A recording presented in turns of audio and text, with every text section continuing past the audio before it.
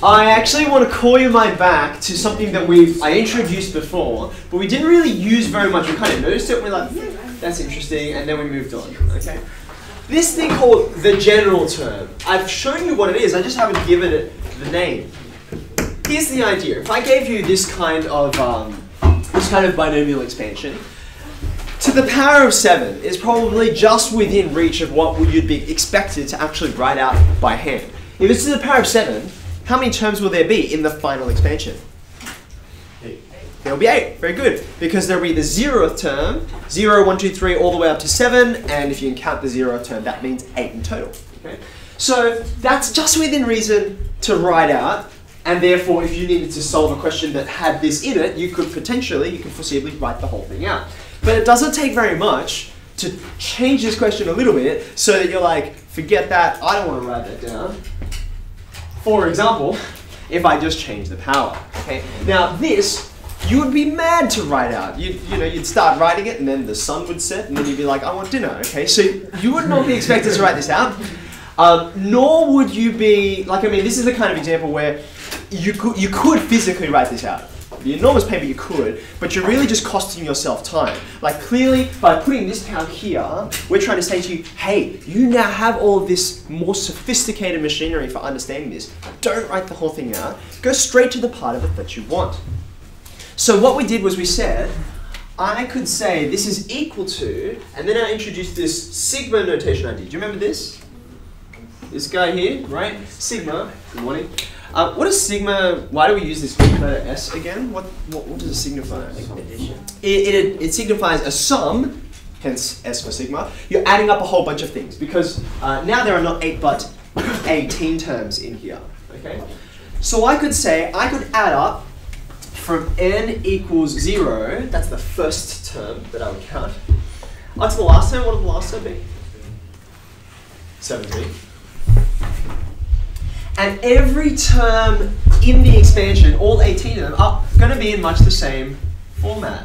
What's the format going to be? I'll give you a clue. There are three pieces. And remember what the three pieces are. What do you start with? Okay, we're going to have the NCR bit, so that's the binomial coefficient. Now, have a think about this. What will each of these, sorry, that's not an N, that should be an R. What is each of these going to look like for this particular expansion? Which which row of Pascal's triangle am I on? 17. I'm on the 17th one, right? So it'll be 17, C, well, whichever term that you want, so you'll count along, R. There's the first component. What about the other two? Where did the other two come from? X minus 2. Yeah, it, came, it comes from these guys, right? So you're going to get some number of these. How many? Um, Uh, I, so what I've done is I've, I've I renamed this because I remember we usually designate n to be the row, right? So r is which term along. So I can say I've got r of those, which means that I'll have negative two y's. How many of those will I have? Okay, so in total, right, by the end, you're going to have something to the power of 17. So your first one, you'll have none of them, and then there'll be one, two, three, and eventually you'll get to the last one, and you'll have that many. Okay, does that make sense?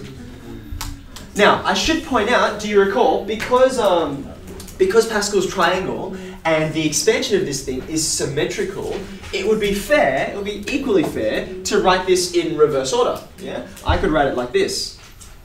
There's still going to be 0 to 17 terms, right? This guy out the front, if you write him forwards or backwards, will be the exact same series of numbers, okay? But then I could write these around the other way, right? I could say, well, let's put this guy out the front, like that. And then I could put this guy out the back, right? If you wrote out these whole things, you would get exactly the same thing, just in reverse order. Do you agree with that? Okay, so the reason why this is useful now is because rather than having to write out the whole thing, if I want a particular term, I can go straight to it. For instance, I could say, which term has the x to the 13th in it, right? Well, you don't have to write all of them out until you get to x to the 13. You could say, okay, well, which one? Actually, we'll do it both ways. Uh, let's go this way. If I were to use this one, which term will have x to the 13 in it? I want, have a look.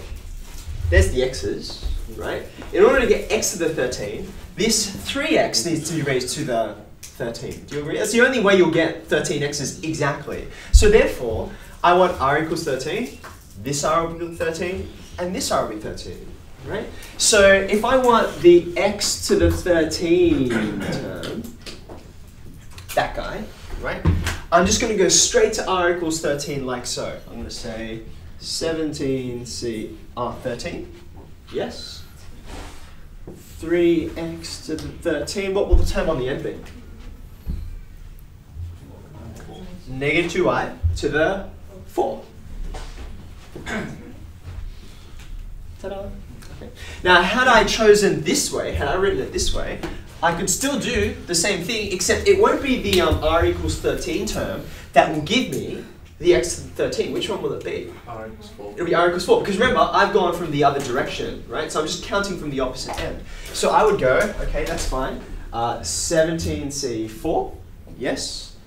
How many of these guys am I going to have? The negative two ways. One. Seven. I've chosen r equals 4 this time, right? So this is this is this guy over here, right? Which is unsurprising because we already knew that. And then of course over here, you've got 17 minus 4, which is the 13 I was looking for. Like so, right? So you can see, oh yeah, th- these are exactly the same thing, and I also know that these guys are the same thing, right? Do you remember that? So this is my NCR equals NC of n minus r, okay? They're the same thing. And you can confirm that with your factorial notation. Do you remember what our factorial notation for 17C13 would be? It's a fraction, what's on the top? 17 factorial. So I'm writing this one, right? So on the bottom there will be 13 factorial, 4 factorial, right? That's what I would write if I wrote that. Of course, if I had to go with this, the numerator would be the same, but then these guys would just be the other way around, which is the same thing, okay? So that's why you can content yourself that yes, this is indeed the same expansion.